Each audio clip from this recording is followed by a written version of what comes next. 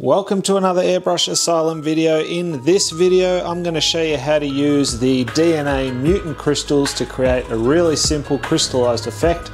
I'm going to candy over it. Let's get into it right now. So you can see this is an aluminium composite panel. I've base coated this in black and just given it a light sand with some 800 wet and dry. And now I'm going to spray a base coat of silver with my Iwata LPH 80. This has got a 0.8 mil needle nozzle setup and the E2 air cap.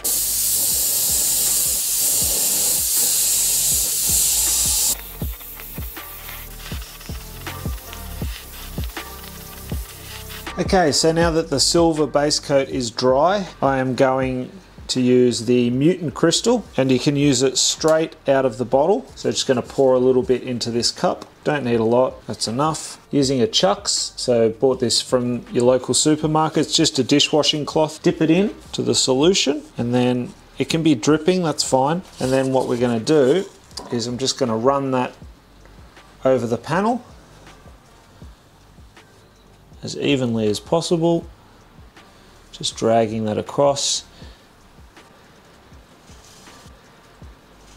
And now it'll start to crystallize so you can already see it happening here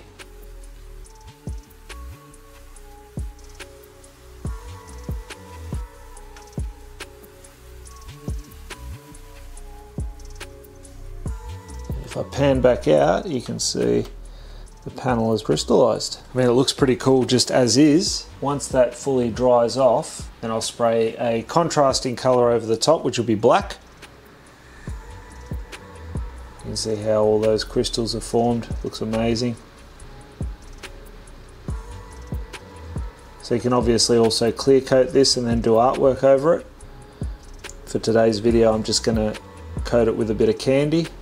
Okay, so the next step is, now that the uh, Mutant Crystalz have masked off the silver base, I'm going to spray a contrasting colour over the top and this is going to be a black.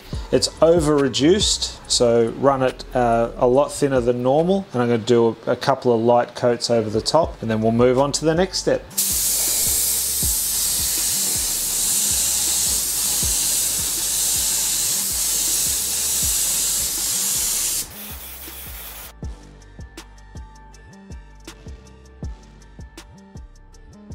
Okay, so now using warm water and a grey scotch pad, I'm going to scuff the area, which should create our mutant crystal pattern.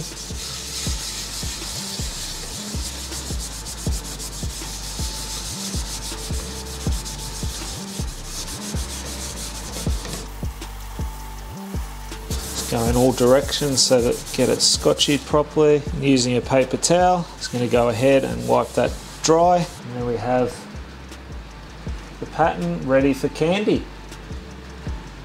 So now I'm going to spray a red candy over the top.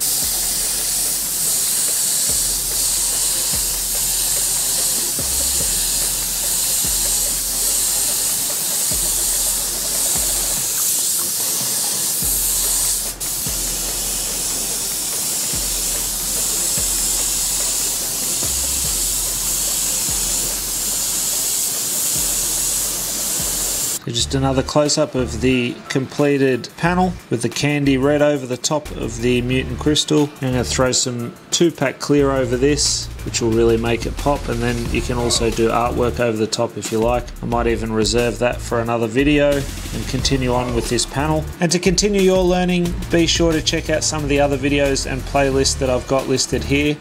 And until next time, for this video anyway, go grab your spray gun, do some amazing custom painting, and I'll see you again very, very soon in the next video. Thanks for watching. Bye for now.